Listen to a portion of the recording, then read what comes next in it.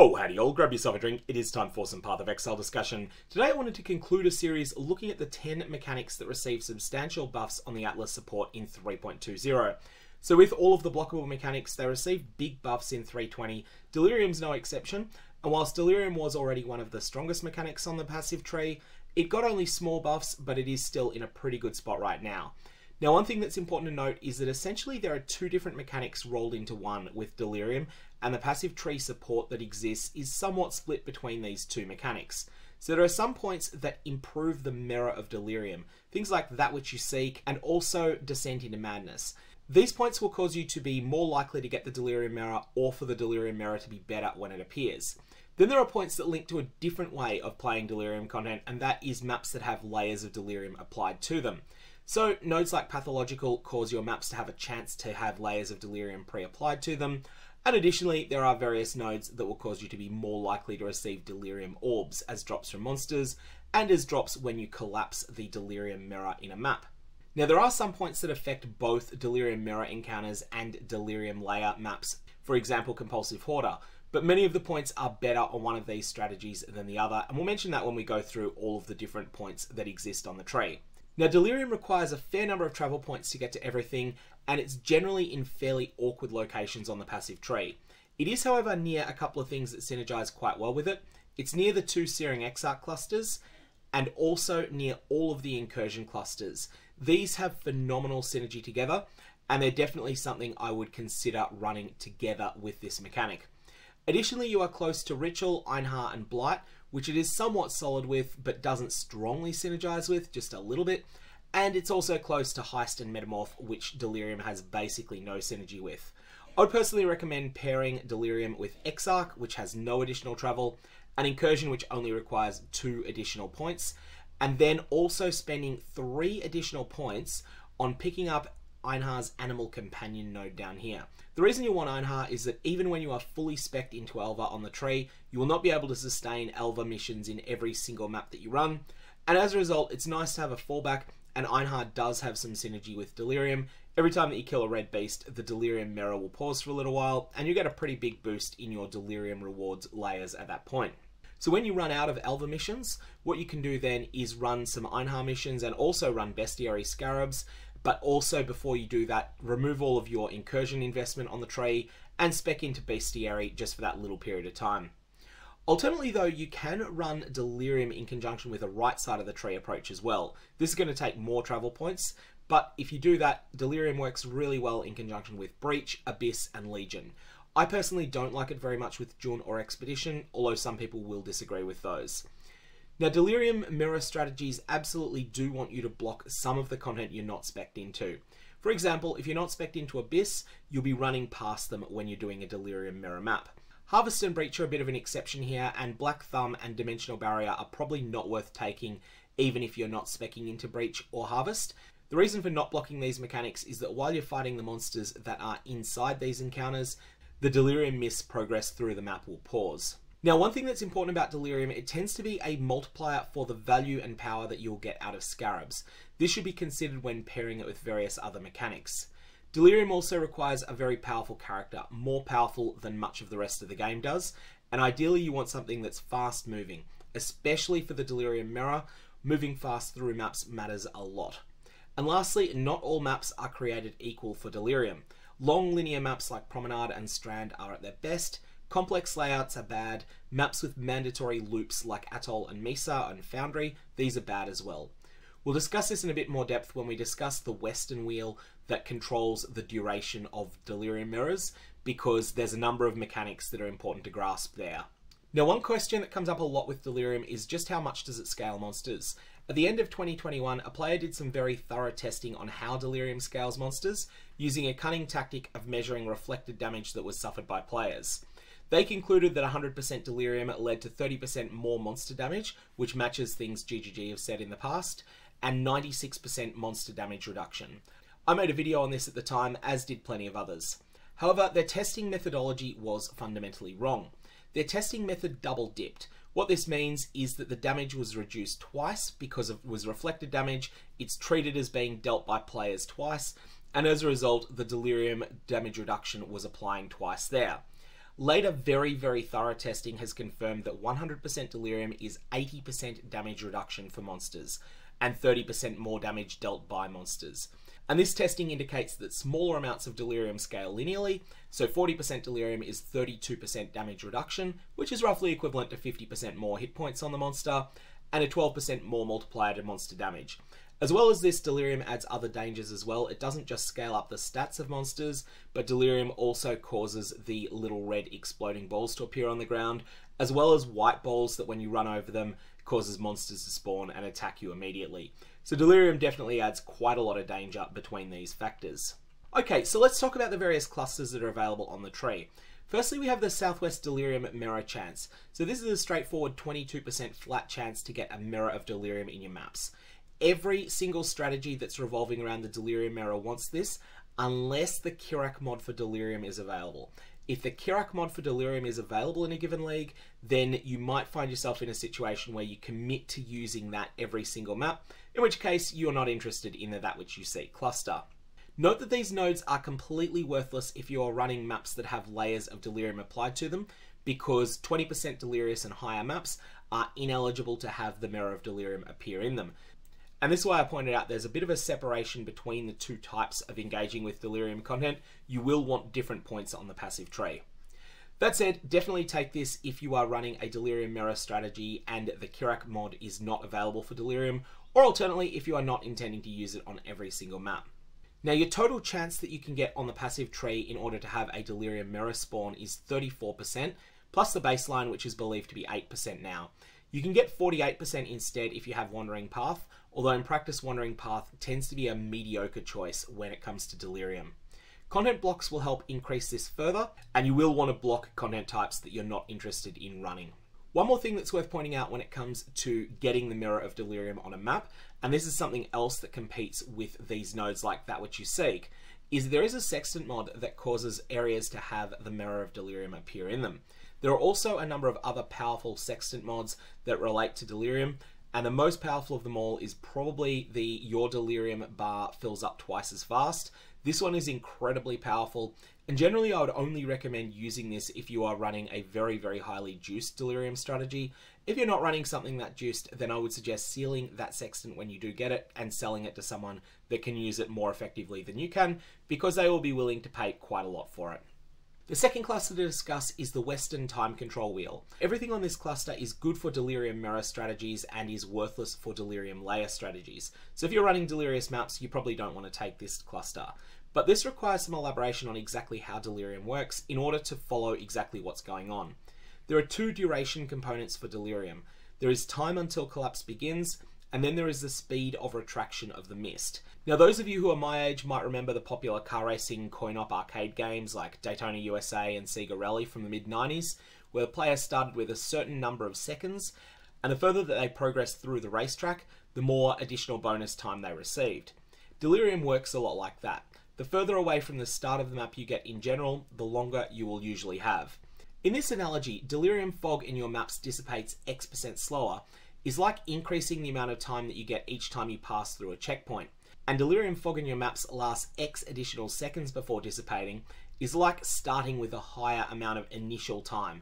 Both of these stats help a lot, and the singular eternity node and all of the small nodes near it are worth taking unless your character is overwhelmingly more powerful in the content you're running, which for delirium is fairly unlikely. Then after that, there is another stat in this wheel. Descent into Madness has delirium in your maps increases 50% faster with distance from the mirror. Now, you can get 75% of this stat in total. If you have at least 70% of it, areas that would otherwise be regarded as 60% delirious or higher, based on your distance from the delirium mirror, will instead cap out at being 100% delirious. Now in this wheel, there are two nodes that are weaker by far than the rest, and these are these 3 second additional time bonuses. These just have much worse numbers than everything else on this cluster, and as a result, I would suggest you don't take these points unless your character is just getting settled into Delirium. While you're learning Delirium, definitely keep these points, but then unspec them once you feel that you've got the basics down pat. And once you feel like your character is pretty powerful, you're just not going to need these, and really 3 seconds is just not good value for one point. On the flip side, these 8% slower ones, these do provide more in general, and as a result, I do recommend keeping these. Finally, if you're just getting started in Delirium, you're going to want to actually drop the two points that make things more difficult here. Descending to Madness is an excellent node, but it's actively bad until your character is very powerful. And likewise, Delirium difficulty here is one that you can skip as well. Skip these nodes early, but do skip them with a view to taking them later. They are very good nodes, they're just not necessarily very good nodes early on in progression. Next we have the West-Northwest cluster that I termed the Cradle cluster. This has Compulsive Hoarder, and also has delusions of persecution. And then you have the sort of baby in the cradle on top. So the compulsive hoarder cluster includes an 8% chance to get three additional reward types on delirium encounters and a 4% chance to gain one additional reward type and you'll get multiple copies of that 4% chance. This is like a 38% chance for your map to provide you rewards as though it was 20% more delirious than it is. Now that's if you're running a delirium layer strategy. If you're running a delirium mirror strategy, it's a little bit worse than getting two additional reward tiers. But again, only 38% of the time. Now on a delirium mirror strategy, what this would mean is that instead of getting 5 jewelry, 3 currency, and 1 armor rewards, you might receive 5 jewelry, 3 currency, 1 armor, and 5 weapons if you were to get one of these procs. That's what an additional reward type will look like. If, on the other hand, you are on a 20% delirious map, instead of receiving 7 jewelry rewards, you might receive 7 jewelry and 7 currency. These nodes are at their absolute best if you are running a 20% delirious strategy. Then you'll find they are absolutely fantastic and probably the best nodes on your entire tree, or at least very close to it. If you're running something that's delirium mirror based, these nodes are adequate. You probably want to take them, but they're not anything extraordinary. And if you're running 100% delirious strategy or something closer to that, then you'll find that the relative boost is smaller, but they're still okay nodes. So next we have delusions of persecution. Now the power of this node is going to depend a lot upon the demand in your league for the specific cluster jewels that delirium bosses can drop in maps. Now note that there are a number of unique cluster jewels, all of them are only boss drops from delirium, but they come from different situations. The ones that drop in maps will be the small cluster jewels. This includes the extremely popular The Interrogation, as well as a number of other cluster jewels that are sometimes in high demand. These can definitely be very good. However, the unique medium cluster jewel Megalomaniac and the unique large cluster jewel Voices are exclusive to the Simulacrum. You will not get them from Delusions of Persecution. If you're in solo self-found and you need one of these items, these small cluster jewel uniques, then you need to spec Delusions of Persecution until you get it. It's just a massive multiplier to your chances of getting those specific uniques. On the flip side, if you're in SSF and you don't need any of these clusters, then this is a complete waste of points. The simulacrum splinters that you get here are just not enough to worry about. If you're in Trade League, you want to keep an eye on the prices of these small cluster jewels. At the time I'm recording this video in 3.20, these bosses in maps are not really worth killing. But on day 3 it was a very, very different matter when the interrogation unique cluster jewel was worth an entire mirror shard. Nowadays, that same cluster jewel is 50 chaos uncorrupted, and as a result, delusions of persecution just isn't worth taking. Next, if this cluster is the cradle, the pathological cluster is the baby in the cradle. This one is one of my personal favorites. So this cluster is amazing now. You have a 12% chance to get a delirium mirror in your maps, and you have a 4% chance in total, so 3% from pathological, 1% from one of the small nodes, for any map that drops in your maps to be upgraded with at least one, but sometimes as many as five layers of delirium. It's been my experience that when this procs, it seems to average two and a half delirium layers, and it seems to be lower if you're playing in lower tiers, but two and a half is based upon playing in tier 16s. Now, when you're mapping at endgame, you tend to drop three to four maps of relevant tiers per map that you run. And so this is like getting 0.3 delirium orbs saved per map that you run. Now, you have less agency over what you can do with these delirium orbs. You can't sell them to other players in bulk. You can't apply them to maps of your choosing. You're forced to apply them to specific maps. But still, I find that pathological ends up being quite a good deal. The next cluster is the paranoid fixation cluster in the nor-northwest area of the passive tree. Now, 25% more cluster jewels is okay. 25% more delirium orbs is okay. Neither of these are anything amazing. Where paranoid fixation really shines is if you go out of your way to force additional unique monsters onto your maps. So paranoid fixation is somewhat of a build around setup. It really, really encourages you to increase the number of unique monsters on maps via things like the Rogue Exile nodes. So Ruckus, for example, grants your maps an 8% chance to contain 20 additional rogue exiles. That's an average of 1.6 additional unique monsters per map. But perhaps most ridiculous of all is running Paranoid Fixation in conjunction with Vaal Temple maps. If you're wanting to run Vaal Temple maps, or even Vaal Temple maps that you change into a different tile set through the use of Twist of Fate, then you'll find that you have lots and lots of additional unique monsters on your maps. Of course, your Vaal Temple maps have to be Delirious, and for that, you have the Divination card, the Price of Prescience. This Divination card is pretty much Trade League only, but it is something that's usually pretty available. Now, it's important to note with Paranoid Fixation that this node was bugged until the 2nd of February. It used to be that Delirious unique monsters in your maps that dropped a Cluster Jewel because of a Paranoid Fixation proc would drop a Cluster Jewel that had its item level equal to that of the tier of the map. This is not intended, it was intended that they were two levels higher, and on the 2nd of February, there was a patch that fixed this. So now, if you're running tier 16 maps, you will get item level 85 cluster jewels from this, whereas previously you would have received item level 83 ones. There is a huge difference in cluster jewels being item level 84 plus versus being lower, and as a result, this ends up being quite a lot better. Late in a trade league, item level 84 clusters are 10 chaos if they're bad and 50 chaos average. This is because even the bad ones can be fed into the 5 for 1 vendor recipe. And as a result, there is a lot of demand for these things because each of the cluster jewel sizes has at least one jackpot hit that you can get. For example, an item level 84 plus 3 passive mana reservation efficiency cluster jewel is worth many, many, many divines at the time I'm recording this in patch 3.20, and I expect that that will continue unless those change substantially in the future of the game. There is also very valuable medium and very valuable large clusters as well. The other thing that's going to sound completely ridiculous when it comes to paranoid fixation is that this is the use for torment scarabs.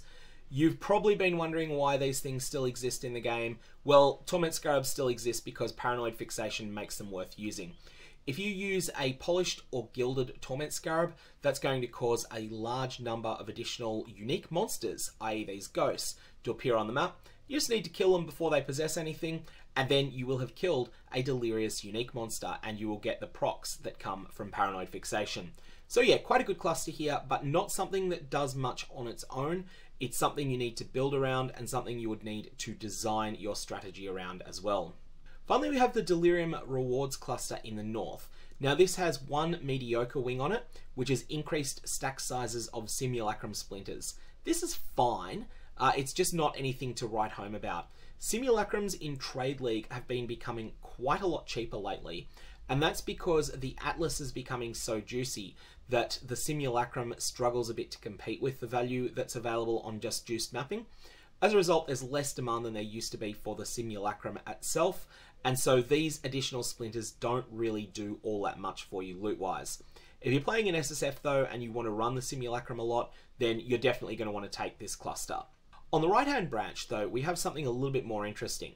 Delirium reward types in your maps gain plus one to count on map completion. So this means that when the map boss dies, you will get an additional level of all of your Delirium rewards. This is actually really, really good. Now, a lot of people overthink the min-maxing on this. If you're playing a Delirium layers strategy, then you want to kill the map boss dead last. That is going to be sufficient for Imagine Pursuits to give you the maximum number of rewards that you would get. And so this ends up working well in conjunction with maps like Mesa, where you can easily do the map boss dead last. I have run the numbers on this. It seems like it's a little bit strange that you would be fine doing it dead last, that you don't want to try and go, oh, we're at 8, we might get to 9 from the rest of the map, we're not sure if we will or not. Should we go and kill the boss now to guarantee 9? No, it's fine to just kill everything else on the map, see if you can reach 9 without doing so, then whether you do or not, go and kill a map boss and you will get one tier from that. The small nodes leading up to this are also very good as well, granting you an additional 25% reward progress. Essentially, this branch is one of the best things on the entire tree when it comes to Delirium. It's going to basically be like Compulsive Hoarder, but better. It's going to give you a substantial boost to the amount of rewards that you get, and it's not based on an RNG proc, it's reliable, and the numbers on it are really good. So definitely take this cluster. Okay, so let's quickly discuss interactions between Delirium and some of the keystones that transform your entire atlas. Firstly, we want to talk about grand design. So small atlas passive skills grant nothing, and your maps have a lot of additional pack size on them. So, the most important thing you get from your small Atlas passives if you are playing a Delirium strategy is that you get a lot of additional chance for the Delirium Mirror to spawn. It is kind of okay to run Grand Design if Delirium is on the map device and you commit to always using it on every map. It's also fairly strong in conjunction with a Delirium Mirror focus.